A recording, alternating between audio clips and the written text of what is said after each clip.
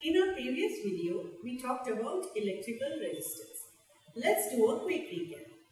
Can you define resistance? Resistance is the measure of how much current is opposed in an electrical circuit. Resistance is inversely proportional to current and its SI unit is ohm. That's correct. And what is a circuit? Uh, it is a circular path through which electricity flows. Yes, that's correct. And you know, a circuit has more than one component, such as conducting wire, power source, key, also known as switch, and resistance. You also know that these resistors can be connected in two different ways, in series and in parallel. In today's session, we will be talking about resistance in series. So, let's start. If we take three resistors, say R1, R2 and R3 and connect them in a series and then to complete the circuit, we connect it through these connecting wires to a power source. In this case, it is a battery. The resistors are said to be connected in series. Why? Because they are connected one after the another in a sequence and the current flows through them without any interruption. Now we'll see an illustration. Could you please draw the circuit? Yes.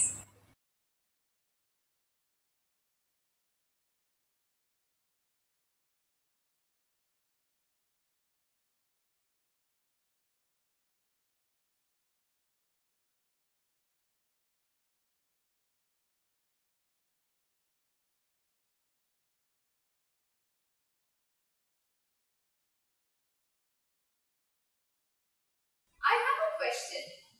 Why is there no interruption? Because as you can see, there is only one path for this current to flow. So it starts from here, it flows through here, goes to R1, R2, R3 and then back here. So the current is not dividing anywhere, it's just going in a straight flow. So to understand the concept better, let's look into a couple of analogies. Let's use a couple of analogies. As you can see, I have three models here. Let me explain them to you. The first one of course is a simple circuit that has three resistors R1, R2 and R3. Current flows through each of them. Now, let's move on to our next model. This unique model represents a water pump system. It has a pump attached at the bottom. The pump pushes the water up to the top from where it flows down through the wheel making them turn and finally it flows down to the bottom. Let's call these wheels W1, W2 and W3. The third model is a game ride. It has one-way elevator as you can see. People can use it to go up on the top. But to come down, they have to go through the staircase, the ladder and through the pole. And all these trees are located at a different level. So what do you think? Is there any similarity between these three models? Yes. In the water pump system model, three wheels are attached in series. And in the game ride model also, the staircase, the ladder and the pole are connected in a sequence that's one after the other. Good observation. If you look at the second model, when the water gets pumped up to the top, there is only one path for it to come down through wheel 1 to wheel 2 and wheel 3. In model 3, people ride up using the elevator to the top and then they come down using the staircase, the ladder and via the pole. There is only one path. Coming back to the circuit, you can see the same trend. There is only one path for the current to flow through resistor 1 to resistor 2 and then through resistor 3. In all these three cases, there is only one path through which the current, the water and the people can pass. Now, let's have a closer look at the water pump. Suppose 10 liters of water gets pumped up to the top. What do you think? How much water will go through each wheel? 10 liters? That's right. The amount will be the same.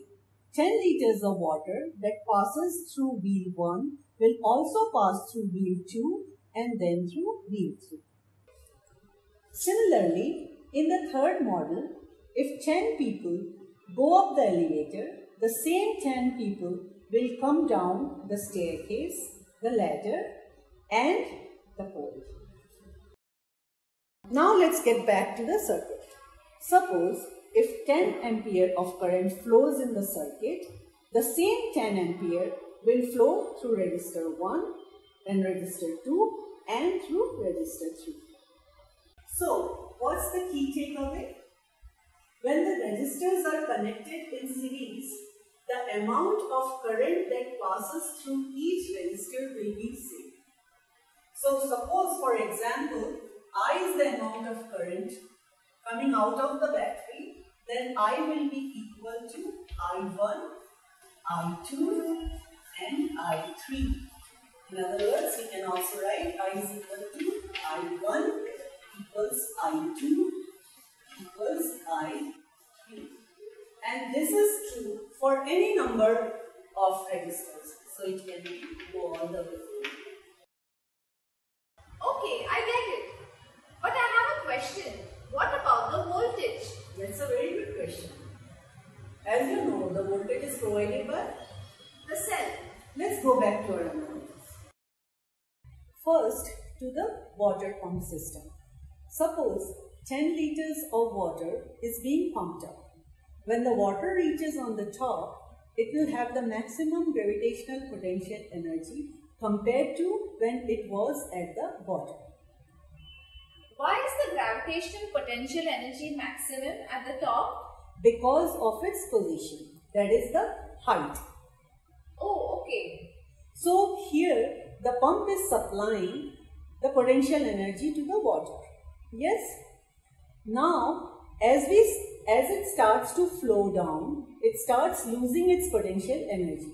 As you know, when the height decreases, the potential energy decreases too. So water will lose some of its energy in wheel 1, some in wheel 2 and then some in wheel 3. Tell me how the wheels are arranged? Wheels are arranged at different heights. Right. As the wheels are at different height, the amount of the energy lost by each of them will be different. Correct? Yes. It is difficult to say how much energy will each wheel lose.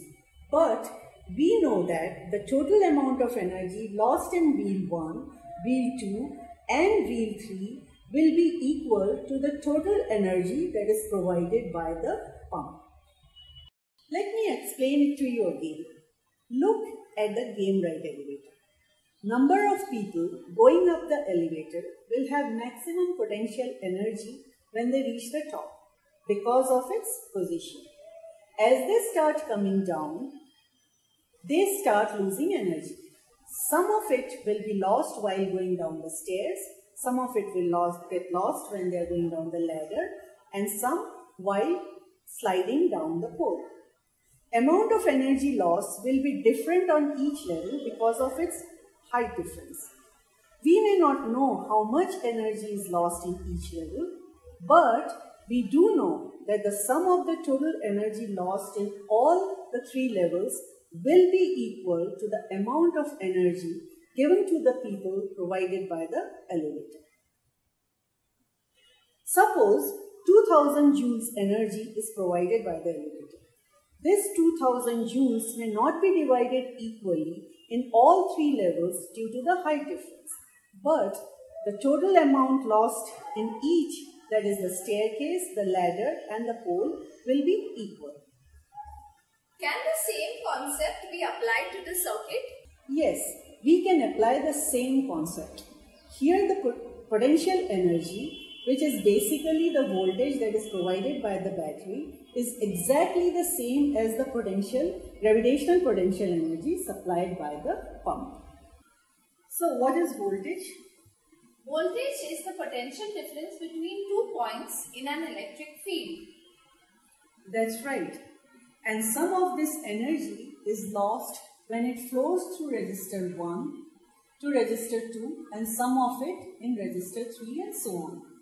Again, we may not know how much voltage is lost in each resistor, but we do know this that the sum of total energy lost by all the three resistors has to be equal to the amount of voltage that is supplied by the battery. So if V is the voltage provided by the battery, then the voltages in resistor R1, R2 and R3 will be V1 plus V2 plus V3. So total V will be equal to V1 plus V2 plus So what's the key takeaway from the analogies that we used today? When resistors are connected in series, the current remains the same, but the voltages add up. Right. Great.